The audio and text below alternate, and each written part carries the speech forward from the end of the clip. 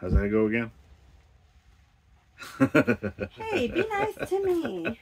Are you really recording right now? Uh, welcome back, y'all, to the Daily Scuttlebutt with Ivey's Family Factotum. Someone's getting ready to go teach.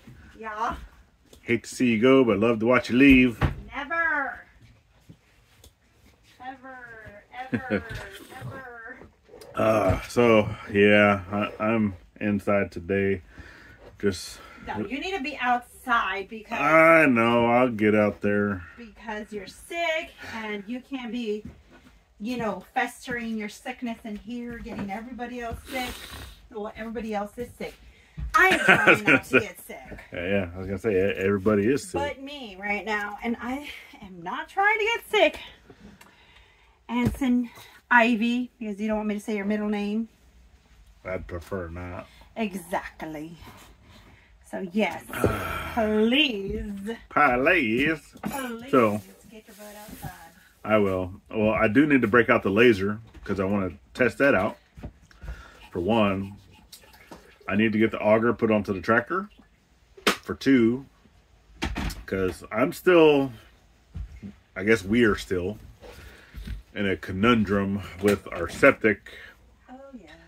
Uh, because, you know, just looking into the different systems that we can do.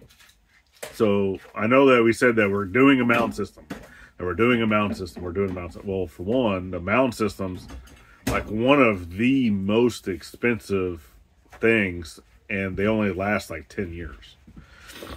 So, With that being said, with that being said, what happened was we're we're gonna kind of so obviously i i need to know like where our groundwater is i need to know because I, I can do my own perc tests kind of right I, I know how to do it i have the tools to do it and the locations to to do it with right so because stuff has been cleared out so that's why I need to get the auger put onto the tractor. That way I can go and, and dig the holes. And it's 18 inch hole, 12 inches in diameter. And you're you're doing your your perc test with that, and into a few different locations. Um, there there's actually a few different areas that I'd also like to, to look at of possibly doing you know more of a traditional uh, septic system but that also require possibly having to move some items and move some stuff around. Um, we will see. We're still gonna do that, but right now I actually need to know. So, if you guys have missed out on when I did the the water level thing for the septic to see how much I needed for a riser, because we were gonna base this land, this property area where the house is gonna be, based off of the driveway, which is already an, an established driveway, where I had the truck. And whenever I did the water level to see what the difference was to the septic tank, it was 37 inches of drop. So that's three feet one inch of drop. It does not look like that in person. So I need to figure out what the, the slope of this land is from the septic tank down because obviously we it's much cheaper to be able to do a gravity fed system. I already know that it slopes, but I need to know how much it slopes. And then if we if we need to bring in any type of material, then I can do that. So because they have uh, what's it called? It's a an inter intermittent. Um, let me. I'm here at the computer. Uh, let me do. Yeah, it's an intermittent sand filter. Um, but they so normally that that style of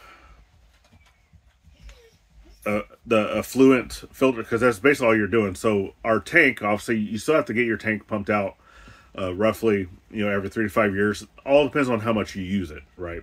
So for us, we only ever plan to put only black water into the septic, so it's only going to be the stuff from toilets. So we plan on having in the main house. There's going to be two bathrooms. The guest or the I say guest house, but it's the gathering house is going to have two restrooms. That's four toilets, and then eventually the the garage. Whenever we do the garage, it's going to have one, possibly two toilets in it. And hi Willow. I know mom left you. She wants to go outside. You want to go outside, huh? We'll go outside in a second. I promise. Oh, bless me. Uh, I know. So, with that, um, they have it's it's it's more or less putting a, a cap on top of the land. So if you're going to do the full uh, intermittent sand filter, you're actually building a either either you can buy the actual concrete. It basically looks like a septic tank, and it's filled with you know the, the rock and the sand. Let me let her out quick. Willow, you're killing me. Killing me, Smalls. Look, I even show them. Now, I'll let you know, so you can go. Be gone with you. Bye. She likes to go and lay in front of the the playhouse because that that's where they go out and they do their schoolwork. So she goes out there and, and lays at the front door. She's she's got to protect her her family, right? So what I was saying is that the sand filters either it's a the big concrete boxes that looks like a septic tank and it's filled with the different sand media and all that and then um, it basically goes through that and it filters it out and then after it goes through that either you can recircle it to go back through there twice two or three times right? And then it, it goes to another tank to be able to pump out and that still has to go into another trench type system to then go into the ground right? So it's it's just like an added filter added filtration before putting the effluent in straight into the ground right? And some of those like i've i've watched uh, maybe over 100 videos now uh, on this uh, just different types of systems going through actually reading. Um, i even have in here um, what is it the the arkansas arkansas wow yeah words are hard answer it's the arkansas administrative code uh, department of health uh, divisions. It's uh, rule 007.04.19 tag 001 because obviously i still want to be able to do it per the code but not necessarily having to go so we're on over 10 acres. We don't have to get permits. We don't have to do that. You know you're kind of exempt from that but whenever it comes to actually installing a system and i've actually talked to the guy that came here to pump it that the homeowner can install uh, a system especially if you're if you're in over uh, 10 acres of land that the homeowner can do all the work themselves and that you don't have to worry about any of that stuff. It just has you have to you know meet get out of my coffee you stupid fly come on. God i hate flies.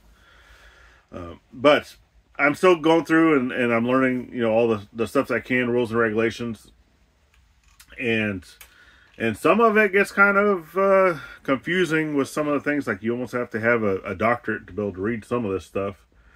Um, but just going through with a lot of the, the things that are in there. And there's actually a few different let me see if i can get down here to where i was reading um because it goes through you know soil conditions and stuff. Obviously for well i know there was already septic here. It was already a traditional type system. So whether the previous homeowner installed that or not go away potential spam. Um or actually had someone install it that i don't know. I don't even know how old the system was i don't know. I know when this house was put in because the concrete that is up there where the stuff well at least the addition right of the trailer that was here. I know when all that was put in. So and that was early 90s and then i know before we bought the the property it sat vacant for seven years. But just going through some of you know the things here i knew that the the person that or at least the the person that we bought the property from which was the child of the people that actually lived here or the guy that lived here that she grew up in the 80s. I, so, and we just know by, you know, the, the different stuff, right? We never physically met her, never really talked to her or anything like that. But just going through some of the stuff that was here, you know, we kind of say, yeah, this this is definitely you know an '80s '90s child. So, um, obviously the the system was working even after we got here, and it it had sat you know empty for for so long.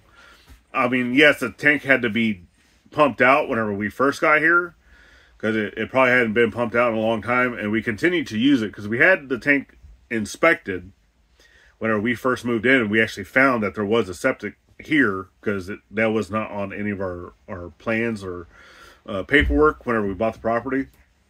So that to me kind of makes me think that yes, they did not have it professionally installed because it wasn't on any record. Um, but with that, I know that it was working. So whenever we go through, and you can kind of test too if you have a well on your property. Obviously, you want your well to be up above where septic is going to be, so it should be uphill, you know, of where that all of your stuff is going to be. And just know too that if the water that's under the ground, just because this, the land is sloping down this way, the water that's underground might still be going that way.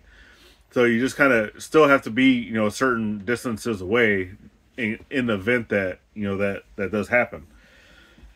So we are doing that, but that's also, you can measure, you know, from that ground level down your well to see where your water sits and get, you know, rough estimates of where your water table is. And actually our well right now is actually really close to almost to like the level of the pond. So I, I can get measurements and what we're going to do. So I did purchase a, a laser level thanks to all of our uh, subscribers, you know, for uh, helping out with that with, you know, donations and, and sending the super stickers and super chats and, and stuff and helping us out whenever we do our live shows, you know, with the, the super chats. All of that that you guys have sent us is what's going towards these tools, the things that we need, right? So that's what we continue. That's what we said. A hundred percent of stuff that you're putting in goes right back into the property for materials, for tools, for the things that we need to be able to do what we're doing. And then obviously at the end of the year, we still donate the 20% back to the veteran community. And last year we just we didn't really make a, a whole lot. So we just went ahead and whatever that amount was, which was like less than forty dollars. Um, we're gonna roll that into this year. So we're gonna take. I, I have it recorded. I already have it put into savings and such. We're not touching it. It's just gonna sit there. It's gonna compound. You know the interest and the savings, and then from that, we're gonna take that and the twenty percent that we make at the end of this year throughout the whole year and because I, I always take every single month and I take the, the 20% for that month, set it aside. 20, percent for that month, set it aside. And then at the end of the year, right, we take all those earnings and then we give that back to the veteran community. Uh, but jumping off topic, uh, like I said, we, we definitely can't do this without your help, and we definitely thank you and we appreciate you uh, so much. But we're still kind of out of we don't necessarily know uh, what we're wanting to do because I need to do the soil test. I already know we have a lot of clay content in this area where we're physically putting the the septic system. I'm not 100% certain. I know that we have a lot of clay in this area. In other areas of the property, some of the other areas that I've dug is high clay content, but right here in the area that we're at, on this side of the creek, I don't know because all the majority of the digging I've done has been on the other side of the creek, the the front side of the property, um, and there's a lot of silt up there.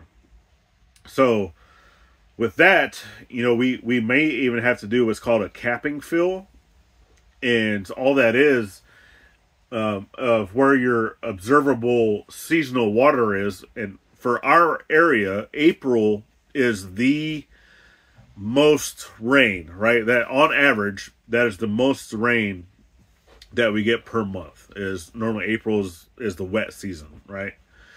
So March, April, May, give or take, April always being the, the wettest. And then whatever that water table is for that, that's where and you should be able to see that in your soil. So if you're digging down and you're looking at the, the different colors and the, the different things in within your soil, you should be able to see where that high water table is and, and low water tables and all that. Uh, plus, monitoring your well, right? Of seeing where are those levels and and checking that, you know, every so often uh, in your well. So that's that's stuff that I'm gonna go ahead and start doing now, and just start testing our soil, looking at the soil.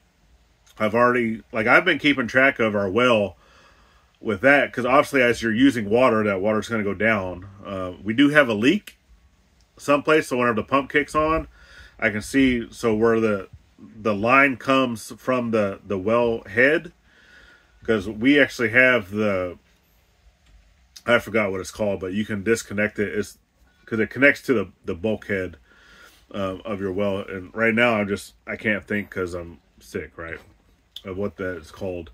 But I don't have to replace everything. I only have to replace just the the piping on the exterior side of the our casing to where the tank is to the well house. So that's roughly a 10 foot section.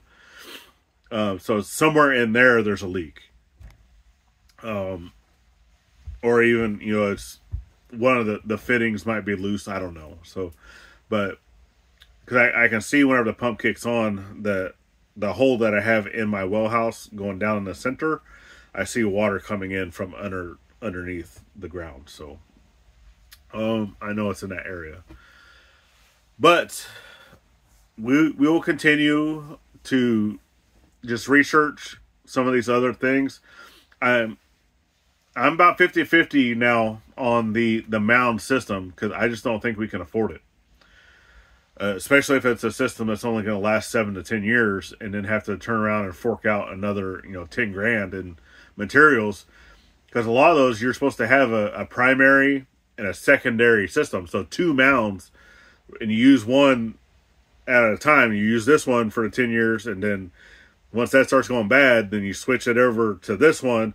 And then when you're using this one, you replace this one, all the materials in it to, to make a new mound, and you just keep going back and forth. But you're having to fork over all that material to redo those mounds. And that's just no, I, I don't want to do that. I would like to find something that is going to last longer than that and just uh, go with that. But if for whatever reason that we need to, which is a capping fill, all that means is that you're adding just a little bit of material to the ground of where you're already going to be putting your stuff just to give it a little bit of extra soakness, right, uh, of whatever you're needing but that means that you're not necessarily having to dig the deep trenches in um, for your stuff. So you're digging a, a shallower trench, which I can just dig one big trench using you know Lil Mac and some shovels because I'll just go in and I'll just scrape up some of the the topsoil, and then you're you still want to you don't want it to be compacted or or hard. You want it to be scraped out. So if I need to go through there, you know, with the the tines of our box blade just to kind of break up that that surface tension because uh, you want that stuff to be loose just kind of break all that up and and then put you know our rocks in and then all the stuff and then a, a cap fill right you're just adding more layers. Plus our land right now like i said it does slope and then it kind of comes back up a little bit and then the creek right? So as it go, goes from the septic tank, it kind of goes downhill, downhill, downhill, and then it's like a little valley, and then uphill a little bit, and then into the creek. So, in that area, if, if we have to kind of fill that in a little bit to where it's a little more flatter in that area, okay, we'll, we'll see. Um, but yeah, because with that, for the slopes and stuff like that, I think it's what does it say? it has to be less than a uh, twelve percent, um, twelve percent slope or something like that. I'm trying to see. Um,